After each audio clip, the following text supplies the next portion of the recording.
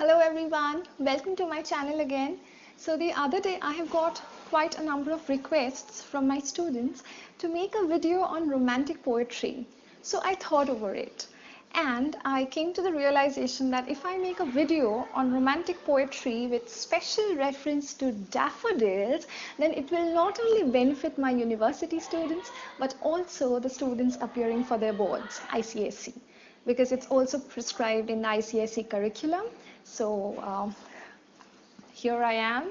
And do watch the video. If you like the video do not forget to subscribe to my channel.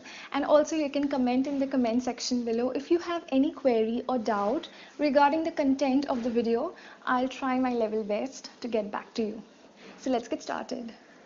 Now in order to understand daffodils or in order to in order to understand romantic poetry we need to understand the age in which he lived okay he lived in the Romantic age. Now, what heralded the Romantic age? In what circumstances did Wordsworth start writing Romantic poetry? All of this is quite an important uh, part of his uh, journey as a poet. Now, he was born in one of the most beautiful places of England, the Lake District. But then, though he was uh, you know, exposed to the beauties, to the myriad beauties of nature. At the same time, at a very early age, he lost his parents. First, his mother passed away, and then later, his father expired. And much later, he lost his brother John. He had gone on a voyage on the sea, and later the news reached him that John had died because the ship had been wrecked. So that was, that was quite a tragic and traumatic experience for Wordsworth. So, at a very early age, Wordsworth had learned to take refuge in nature. He had learned to turn to nature for solace. He understood the importance of nature. He realized that nature is a healer in many ways. And uh, perhaps because uh, he was separated from his uh, sisters and brothers. He was separated from them, especially Dorothy. Dorothy and Wordsworth were so intimately connected. Dorothy remained the best companion to Wordsworth for the rest of his life.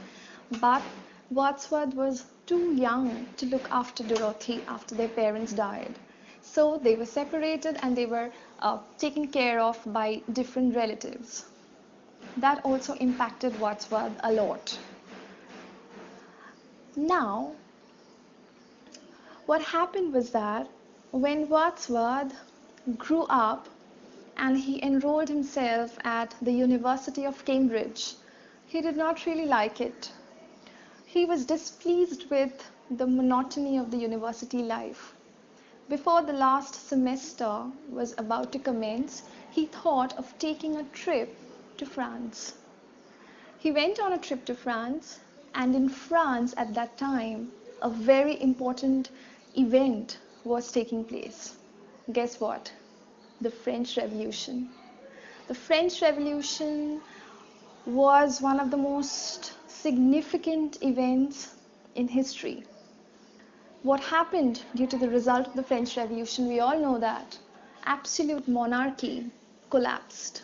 It was abolished and the people belonging to the third estate, namely the peasants, the artisans, the traders, the professionals, all of them finally got their freedom. They were tortured, they were oppressed, they, was, they had innumerable and untold sufferings. But due to uh, the collapse of the monarchy, uh, France had turned into a republic, and as a result, these people got their freedom back. They got the freedom to think for themselves, and in turn, it gave them the freedom to express themselves. So Wordsworth was very much passionately involved with the revolution. He was uh, so inspired by the ideas of the French Revolution. The ideas of the French Revolution were liberty, equality, fraternity.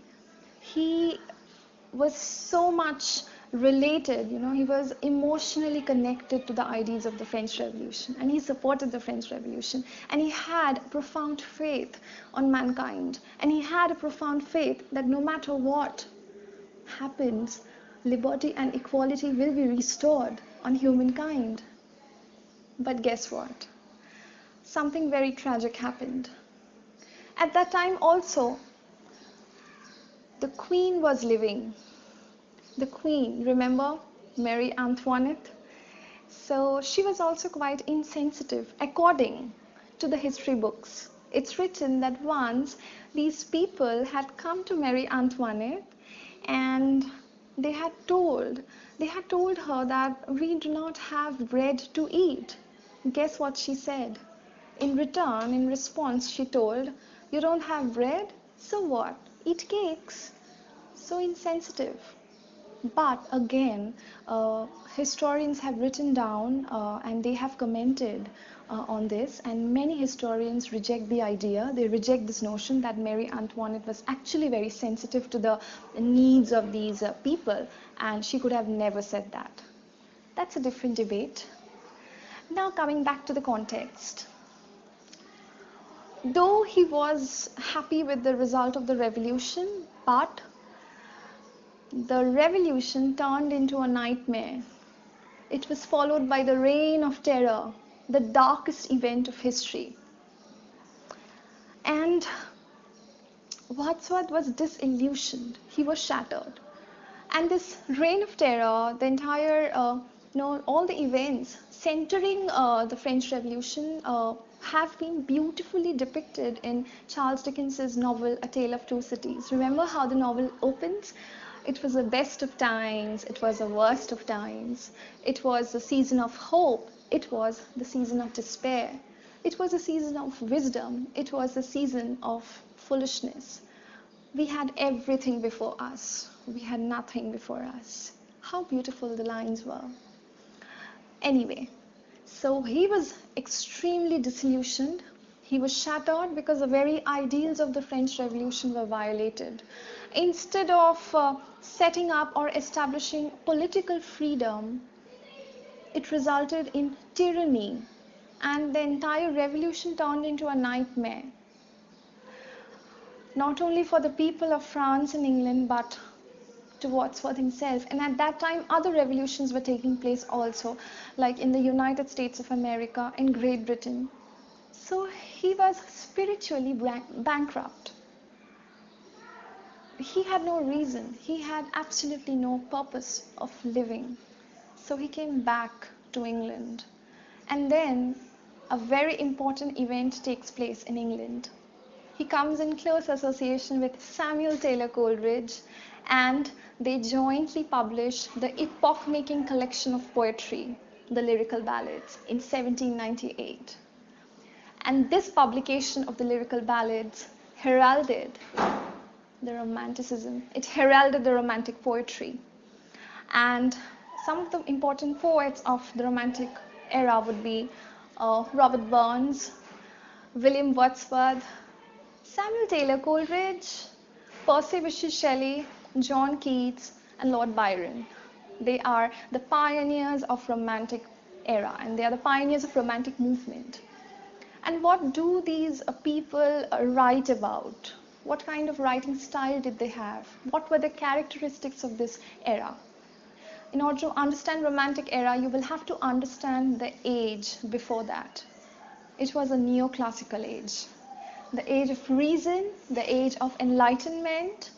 Uh, the neoclassical writers mostly drew their inspiration from the classical Roman and Greek writers, whereas the Romanticists uh, they drew inspiration from everyday life. They drew inspiration from nature. On one hand, these neoclassicists, they uh, had to abide by certain set rules. They had to abide by certain uh, conventions and artificial style. Their diction was superficial. On the other hand, the romantic poets, uh, they started writing about events of everyday life sentiments, emotions, love for humanity started playing a dominant role in romantic poetry. So these romantic writers were to some extent impacted by the ideals of liberty, equality, and fraternity, and they thought of implementing and using those ideals in their poetry. How? By letting uh, you know letting loose of the various conventions and the styles that governed the age of the neoclassical era. They let go they let go of the conventions and the rigid styles.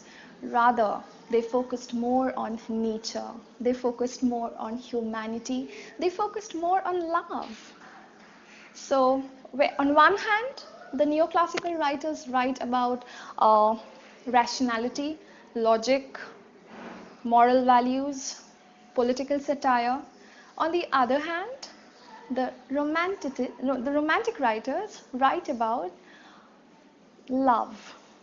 Love is the universal theme in romanticism. Love for what? Love for nature, love for humanity at large. So, William Wordsworth uh, he started writing uh, a lot of poems which centered around nature. Specifically, uh, he's preeminently uh, known as a poet of nature. And uh, specifically, the poem The Prelude is extremely famous. But today we'll be talking about daffodils. Okay? So, in order to understand daffodils, you'll have to understand the characteristics of romanticism. These characteristics are inherently present in the poem. And Wordsworth defines poetry as the spontaneous overflow of powerful emotions recollected in tranquility. It is only when you are in solitude, it is only when you're experiencing deep emotions of sadness or happiness or joy, it is only then you can write a poem. It is only then a poetry is created. It cannot be thought of advance, it cannot be thought of beforehand. You cannot just think about it or you cannot just adhere to certain rigid rules and write the poetry based on that. It has to be spontaneous, it has to be random. And it is only when you're in a tranquil state of mind, it is only when you're on a reflective mood or state, you start writing the poem. That is what this entire definition means. Spontaneous overflow of powerful emotions. Emotions of what? Emotions of extreme joy or deep sorrow. Any sort of emotion it is only then a poetry is produced. Now, daffodils, when uh, he wrote daffodils, uh, Dorothy had written in one of her diaries that they had gone on a stroll, uh, they had gone on a walk in uh, one of the areas of the Lake District. And uh, it is only then that uh, William Wordsworth witnesses this beauty of golden daffodils flashing past before his eyes. Though the reference of Dorothy is not mentioned in the poem explicitly, but that is what is being mentioned in Dorothy's diaries. Though, though Dorothy was not a poet herself, but she used to write a lot of articles and diaries. So one of her diaries was discovered where uh, she penned down exactly what happened. So it was not that while witnessing or experiencing the beauty of the daffodils, Wordsworth had written the poem there itself. No, it was much later.